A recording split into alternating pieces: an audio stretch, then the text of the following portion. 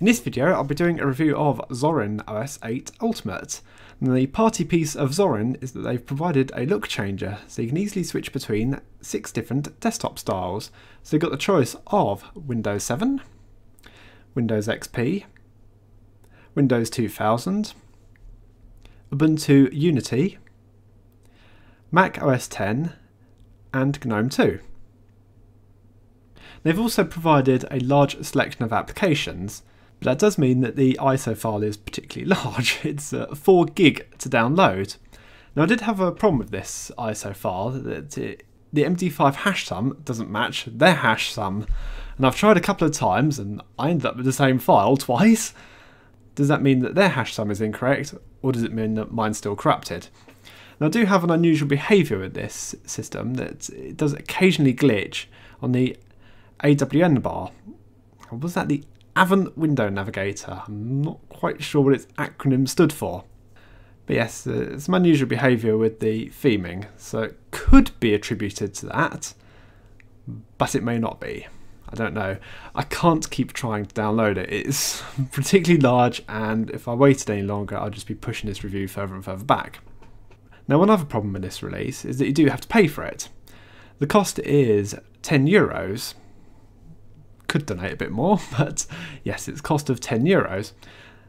Now the support cycles imposed by Unity means that this distro is only supported for 9 months. It does mean it could be considered to be quite a high price. Now I did email the developer about this and said, uh, are you going to offer free upgrades for the interim releases of Zorin?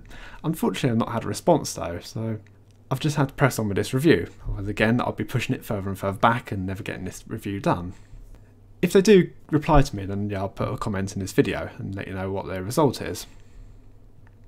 But you do have the option of going for the long-term support release of Zorin OS 6, which is supported for five years. So you don't have to pay for something that's only going to last for nine months. You do get a choice in the matter.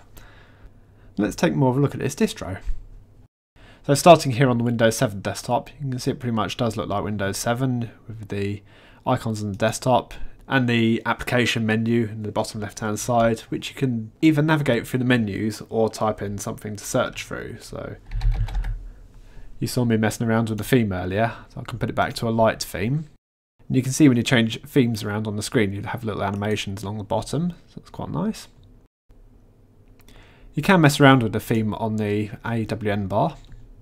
So you can change its size and orientation it's not quite as convenient as it is in Windows where you just drag the bar around. Oh look, there's a little mistake there on the theming. It's kind of dropped down out of the bar. Let's put that back to the bottom. You can change the style. Ugh. Yeah, it's not working well that, is it? So yeah, a few different styles you can have.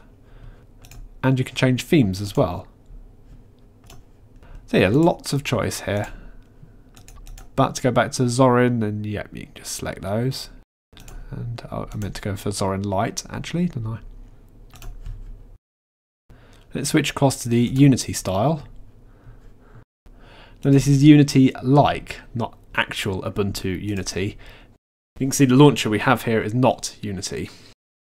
seems just as responsive, but one thing you can't do is switch between different genres of applications. All you've got are the pages. So yeah, not quite as good as the actual Unity launcher. Well, that was an intriguing little tool. Zorin World Community Grid. Contribute unused community resources for developing cures for cancer, HIV and AIDS and help other projects. Okay. Using the look changer again, I'm going to go across to the Windows 2000 theme.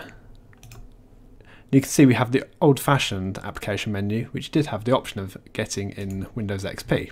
Do you know, I did used to like this style of start menu, until I started using Unity, where you can just search for the applications by typing. It's a hell of a lot quicker than going through these menus.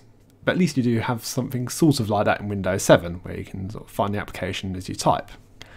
Anyway, I opted for this just to take a look through the applications that we get, because it is a huge amount. So there's quite a lot of games pre-installed on this. So you actually got quite a few two-dimensional and three-dimensional games. Super Tux Kart, nice little 3D racer. Xonotic 3D shoot 'em up. It's quite a nice one at that. And you also got Steam for installing a variety of pay for applications. Under graphics, well, we've got Inkscape and GIMP, as well as quite a few other applications. Internet, the choice of browser is Google Chrome, and as you may have seen earlier, we do have Flash Player pre-installed. We've also got Skype, and we've got Thunderbird for the email client. Office, we've got the full suite of LibreOffice. Sound and video, we've got Amarok and Music for the sound players, and we've got VLC and Totem for the video players.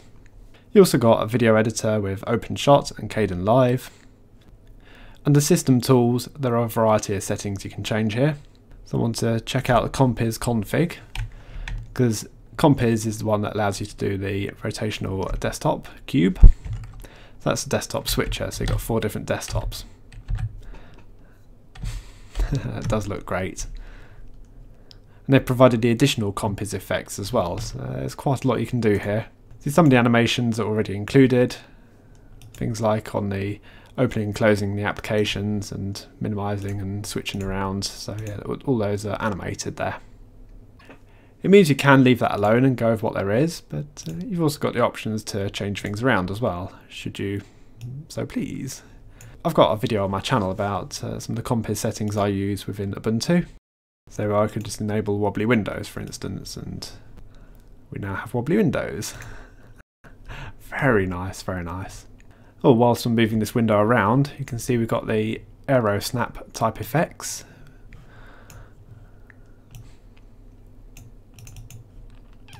Ah, it's not gone back down to windowed size. Anyway, let's get rid of that. Continue along under System Tools. Tweak Tool. I started looking at this earlier, but uh, this is a bit intriguing. Oh, yeah, you don't want to change those necessarily.